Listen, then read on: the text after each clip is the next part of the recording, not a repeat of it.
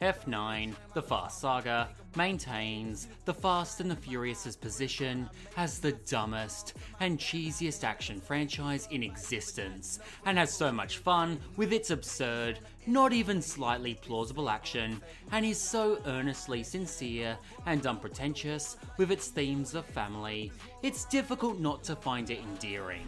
Who is he? Jacob is Dom's brother.